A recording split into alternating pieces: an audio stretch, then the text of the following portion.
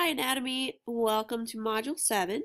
I just want to make sure I point out where we are right now. So we just finished the lecture exam and started the appendicular skeleton this last weekend. On the 9th this weekend is, uh, we don't have a test this weekend, thankfully. You will, your test grades have already been put in online and you will get your test back. Um, if you haven't taken the test yet, you have to take it this Saturday. Um, don't forget. Uh, this week we are covering, um, we're going to go, so this module specifically, we're going to recover anatomical orientation and some common anatomical words. Uh, now that you've started looking at the skeleton, you'll start recognizing some of these words, so it'll, I want to put it into context once again. There's no questions that go with this module, but I do want to make sure, uh, I want to bring it up again because now that you're seeing the words again, it's a nice place to remind you of them. Uh, do remember that next week on the 23rd, we have our lab practical. These cannot be made up. There's just no practical, well, okay, there's no real way that we can make this happen. You could go to another section's practical, but you would have to contact the professor specifically. Um, so you'd have to loop both of us into that one. Uh, make please do your best to attend this practical. These can't be dropped. You have to make sure you go to all the practicals to get the credit because the point the whole point of it is this is where you're going to be tested on everything you've learned uh, prior to this point in lab. So basically all the skeleton some of the tissue a little bit about we didn't do this osmosis lab so not that but a little bit about microscopes um, and basic terminology which is again what we're going over today. So let's get straight into that Let's talk about body planes, directions, and cavities. And this is something we went over the first day in class, but that feels like it was a million years ago. So I feel like this is a good thing to cover again. Um, the idea being that as um, anatomists or biologists or medical people, we have to have a way to talk about the body um, in a way that's common for everyone because what's right to me could be your left, what's north, uh, if someone's standing on their head, is actually south, etc. So we like to make sure when we're describing something as being medial, it's towards the center, if it's lateral, it's away, uh, if it's towards the head, it's superior, etc. We're going to go through all of it. So um, again, so the reason why we go over these things, um, it just, we like to talk about uh, what's called anatomical position. So whenever we're talking about someone in anatomical position, whether or not they're standing in their underwear or not, they are standing, feet flat on the ground, uh, shoulders back, their head pointing forward, uh, and their arms are, instead of just resting naturally, the, the thumbs are pointing out or laterally. Okay, so that is your first term, lateral. Uh, let's move on. So if someone is in anatomical position, you can use these terms. Uh, even so, if this person was then uh, lying a different way, the thumb is still considered lateral, even if it's like across his face, because uh, that's just if we moved him back to anatomical position, that would be um, correct. So we base everything on this form, even though we don't always see people in this form. Okay, so again, you're going to be uh, anatomical position. You have to be facing forward, standing erect, arms at your sides with the palms facing outward. So when we do this, we can then split the body, uh, depending on if you're cutting um, depending on where you're cutting the body, and the reasoning is that we can then um, create directional terms based on these planes. Okay, so if you cut someone into left and right sections, you're cutting a medial plane. If you're cutting uh, above and below, and it's not just here, so I could cut a a, a, transverse plane through the top of the head. So you can cut a transverse plane here, and then when you're talking about that, you're talking about inferior and superior, okay? So anything that is inferior and superior is talking about um, on a transverse plane, okay? So the in this case, the fingers are inferior to the thumb when you're in anatomical position. You would not say that one finger is inferior to another finger though because that's the wrong plane. You're not cutting through the body in that case, you're cutting in a different way. So you, you don't do that. Um, we also have so that the medial cuts left and right, the transverse cuts cuts inferior superior, and then the um, this plane back here, the coronal plate, is cutting front and back. And so when we do that, we can then um, get, uh, so I said front and back, that's not the technical terminology. We're talking about posterior and anterior. So again, you could say that your um, ankle is posterior to your toes, but you wouldn't say that your ankle is inferior to your toes because that is in the wrong plane. There, if you're sitting, if you're standing up, flat feet flat on the ground, they're both equally flat. So there's no way to say one is above the other or not, as you would if you're looking at something on the transverse plane. Uh, you they're both in the same plane transversely, so you can't say it's inferior or superior. You can only say that is it is instead posterior or um, uh, anterior. We're going to go over those a little bit more. So the transverse plane is that horizontal plane that gives us the top and bottom halves. Whenever that happens, superior is something above something, inferior is something below. So this was a lab question. The knee is superior to the ankle but inferior to the hip. Some people put distal instead, and the distal um, and proximal are terms that you really only use in reference to something else. It's better to say if you're just saying the knee is superior to the ankle, that means it's above the ankle. Um, it's inferior to the hip, that means it is below the hip. If you were putting these in a line, you would say that the knee is more distal uh, oh, that's a bad example. You would say that the ankle is more distal to the hip than the knee is, but you can't um, just use two of them and then go with it. So it's better if you're just looking at two things, you're talking about inferior and superior, uh, if you're talking about something that's above or below the next thing. Okay, so the transverse plane again is cutting here. And remember, this plane basically can move up and down the body. So anytime you have something above something else, that's considered superior. Anytime it's below, that's inferior. Sometimes you hear that as cranial versus, eh, I mean, sometimes you hear cranial. I don't, mm, it's a weird thing. That just means towards the head. Um, we are very head centric as humans. The head is very important. Um, that yeah, it's it gets a little weird. If you're in going into vet school, you might hear caudal versus cranial. If you think about an animal on four legs, if it's going towards the head, that uh, is in in fact, if you're moving towards the head this way, that is going superior. Uh, you could also consider it cranial. When you're moving caudal, you're moving down towards the tail. We don't have a tail, so we don't usually hear that in terms uh, in human anatomy. Uh, instead, you hear inferior. So, so something is superior by being above, it's inferior by being below. You could say that your chin in anatomical position is inferior to your ears. Uh, because it is, in, even though the ears are further back on a different plane, um, the chin is still below the ears. Okay, so that's uh, transverse plane. So here, here's that cranial caudal, caudal thing again. So if you want to write these things down, it's a good place to pause. Cranial means it's located near the head or superior. Caudal means uh, near the sacral region of the spinal cord or the tail. Okay, again, we here is another example. When we look at the uh, sacral region of the spinal cord, it's the butt, basically. Okay, so it's the last part of your spinal cord. Uh, if you uh, remember from your axial skeleton, mm, yeah, axial skeleton, it's the last part of the spine, um, and it's where these all fuse in adults, so they become one continuous bone in the sacrum. The very last one is the coccyx. Uh, that's our tailbone, our literal tailbone. Sometimes people can have an extension of this if they're born with tails. Um, it's very rare event, uh, thing, but it does happen. And in other animals, we do see this being extended into a tail, and that would be more caudal than anything in the head. Um, but that is, if something is caudal, it's moving towards the sacrum. If it's cranial, it's moving towards the head. Or again, caudal is the same as inferior, uh, cranial is the same as superior. All right. So what about that mid-sagittal plane or medial plane? That's this one that cuts left and right. So what's happening here, it divides us left and right. Uh, anything that's close to the midline is considered medial, okay, midline medial, or okay. Anything that moves away from that midline is lateral, okay. So a midline, so if you're moving out away from that plane and towards the hand, you're more lateral. So if you're making a lateral incision, you're moving this way, okay? If you are, um, I, I don't know why I thought of that, but I think I've heard that in an ER episode or something, uh, or Grey's Anatomy or something. Um, if you are moving, so lateral means side also if you're taking different languages, uh, romantic-based languages.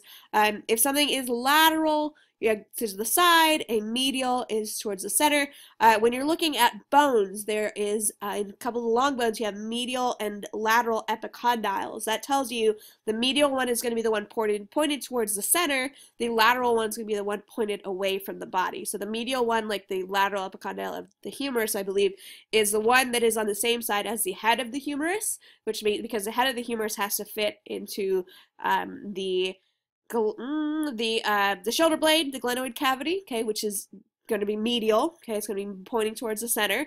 Uh, so the medial epicondyle is going to be the one that's on the same side as the head, so it's pointing in towards the body. The lateral epicondyle is going to be pointing out away from the body because it's towards the outside, not towards the middle. Hopefully that helps a little bit. Um, let's see. We talk about the frontal plane or the coronal plane. That is where that's this one. It moves us into the front and the back. Okay, so if you can think the frontal or coronal. So coronal, it's called this because uh, it's basically where someone would wear a crown. It's also based. The coronal suture is also the idea being where you would wear a crown. It's going to be the one that divides your skull into the front and the back. There's history there. I don't understand.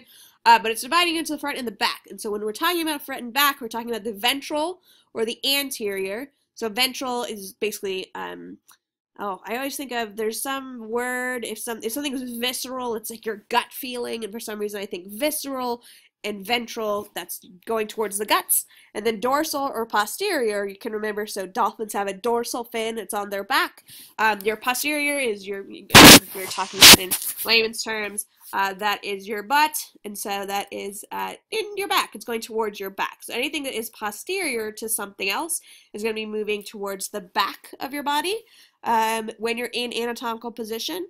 Uh, so if you're thinking about your if we talk about um, um, like external anatomy, if someone has mammary tissue or breast tissue, that is going to be ventral to the heart because the idea is it's out, it's more um, towards the front of the body, and the heart is inside the body. We can only hope, and so that's going to be more posterior in comparison, but then the heart is going to be ventral to the spine because the spine is behind the heart. Okay, so again, these things are relative to other things very often.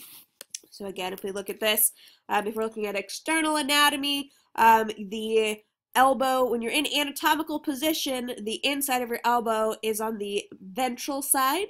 The outside of the, the you know the part where you hit your elbow, if you're hitting your elbow on your funny bone, is on the posterior side or the um, dorsal side. So again, anterior is the same as ventral, posterior is the same as dorsal. Okay, other things. So when we're going down the long bones and we're comparing things in reference, we can talk about something being more proximal or more distal. So your most distal phalanx is, is going to be your um, the uh, oh, let's look at this as an example. So your distal phalanx, so your phalanges are your finger bones and your toe bones. So your distal phalanx is the one at the very end because there's nowhere else to go. That's really the only part where you can just kind of call it that by itself. If you're talking about the proximal part of the forearm, is the closer part of the forearm, but um, that's in comparison to something else. So see we have two different parts that are proximal part of the arms. So this is the proximal part of the arm because it's closer to the rest of the body. And the distal part of this part of the arm is further from the body, okay? Um, but if I were to ask you, is the elbow proximal to, more proximal to um, the radius, which is going to be here, or to the phalang, phalanxes, phalange, phalanges, hello, which are your finger bones, you would say, oh, the elbow is more proximal to the the radius than it is to the um, fingers because that is further away, okay? So proximal means it's something closer, and distal means it's something further away, but usually you're talking only in reference to something else. You can't just say, the knee is distal. That tells me nothing. Are you talking about, is it distal to itself? That doesn't make any sense. Is it distal compared to the heart? Is it distal compared to the hip? Okay, the knee is distal, uh, more distal to the heart than the hip is because it's further away but that's that's it's not more distal uh, to the hip than the thigh is, right? That doesn't make sense. And so usually when we talk about distal and proximal, we're talking about things that are closer and farther away to something else. Okay, so the wrist is distal to, um, uh, oh, it's the we left something out. So if the elbow is proximal to the shoulder, uh, oh my goodness, this sentence makes no sense. Let's just take that out. The ankle is distal and the knee is proximal to the hip. Okay, so we have to, oh, I see what that last one is, whatever. So we have to have that third thing in reference for this to make sense. So if we go back to this one, uh, if the shoulder is the point of reference, the wrist is more distal than the elbow, okay? But if the, we're talking about our fingers, so if the, uh, if instead of shoulder, this said fingers, the wrist would be more proximal and the elbow would be more distal because it's in comparison to the fingers. Okay, so this is all about comparing to a third thing.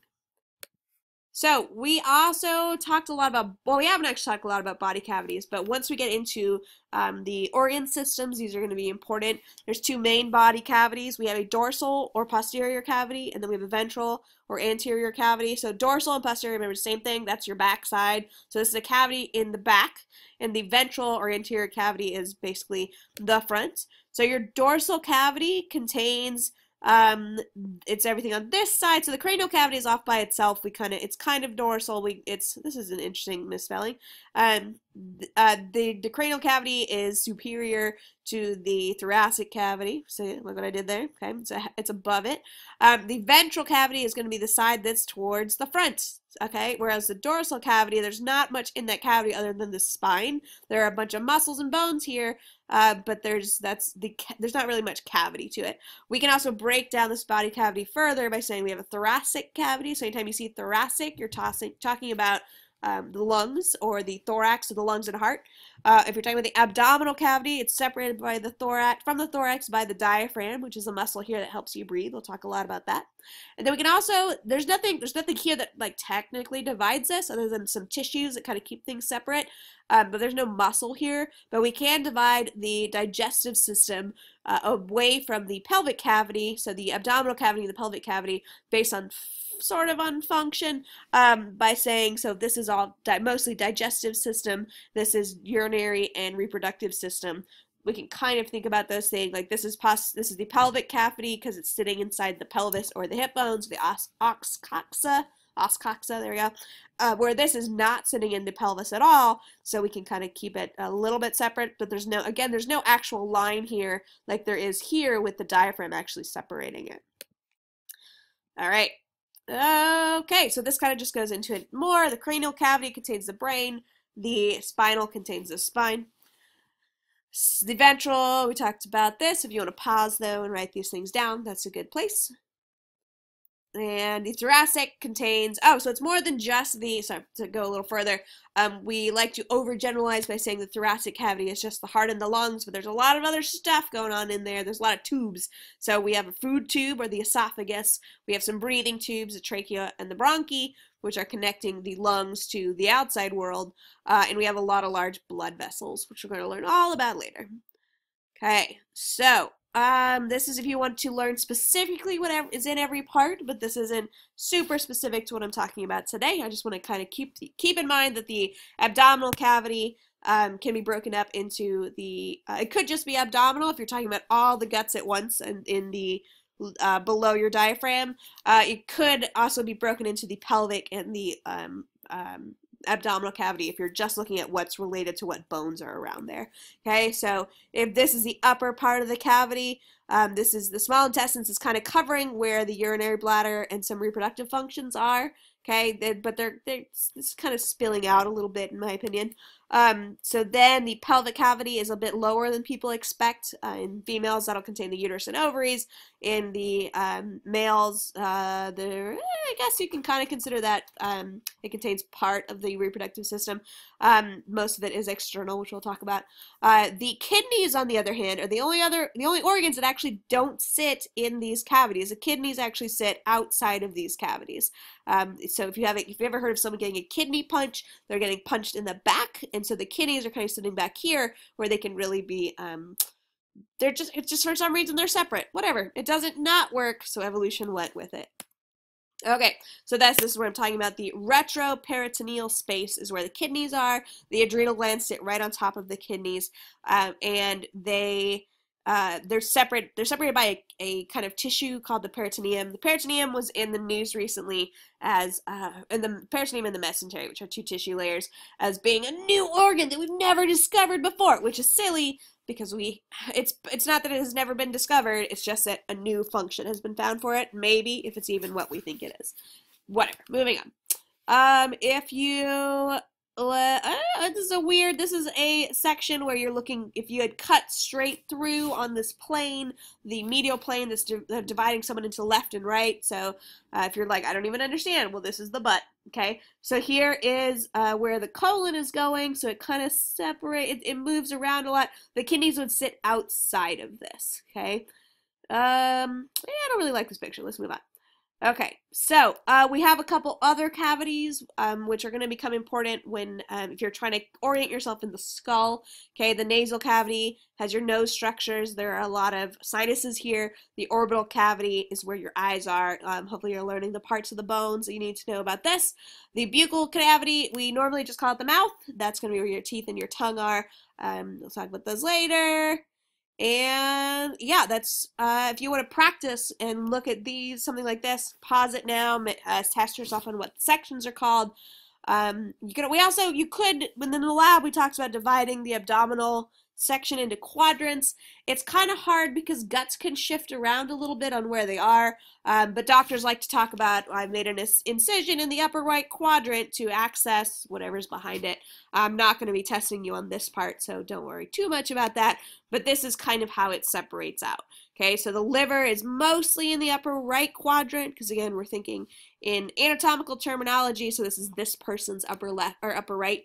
Okay, the colon is almost entirely in the two lower quadrants, but you do see it's not like the body's like, oh, I better stay in my quadrants. It's just kind of a general system. Uh, that is, we're going to get to muscle movements, so I'm going to stop here. So hopefully this helps clarify some of those directional terms, and I will see you guys uh, for the next module, which I will post in two days. Bye.